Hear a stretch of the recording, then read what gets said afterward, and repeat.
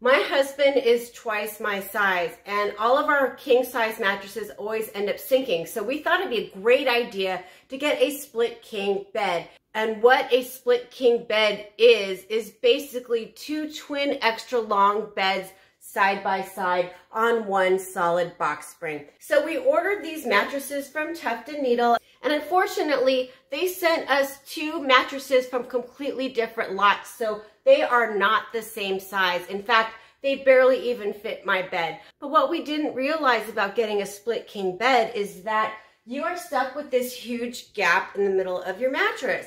So I decided to do a little searching and I discovered something called a bed bridge. I decided on this one and I'm gonna show you what you get and how to install this bed bridge.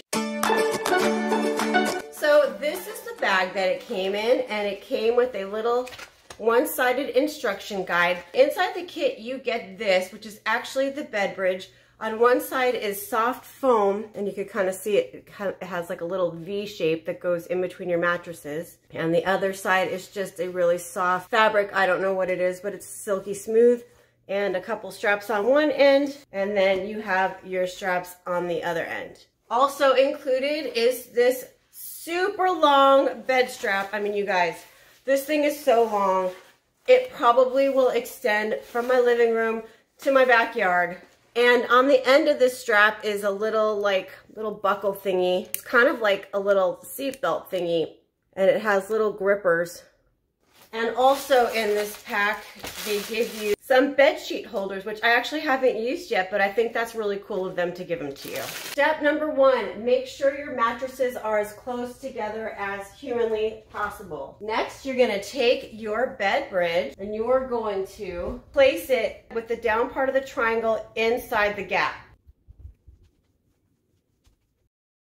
Now we're going to insert our strap. The strap is going to go through these two bottom loops and the two loops on the top. I'm going to place my buckle at the bottom here so that I know where it is. And I'm actually going to leave the buckle out with this side in front because that's what I'm going to use to tighten the strap. Make sure it's not twisted.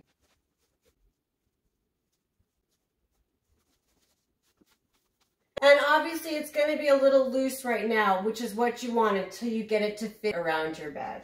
I'm going to put the end of the strap through this little clamp right here. And you're going to want to press down on the clamp so that it remains open. Now we're going to adjust our strap and stretch it so that it fits all around the sides of the bed. You wanna make sure that it's not twisted, which is a little bit easier said than done. I make it as tight as I can because you're gonna want a snug fit. And make sure it's not too tight because if it squeezes on here, it can cause indentations in your mattress. And you are gonna have a lot of strap left over, but you can just stuff the remaining parts under the bed. And there we have it, no more gap. And what I'm most thankful for is I'm not worried about my little doggy's paws getting caught between the mattress. When you lay on it, it smooths out really flat, so I don't even notice it. And here's how it looks when your sheet is on. I'm really happy that I made this purchase. If you're interested in this product, I will put a link in the description below. And as always, thank you so much for watching.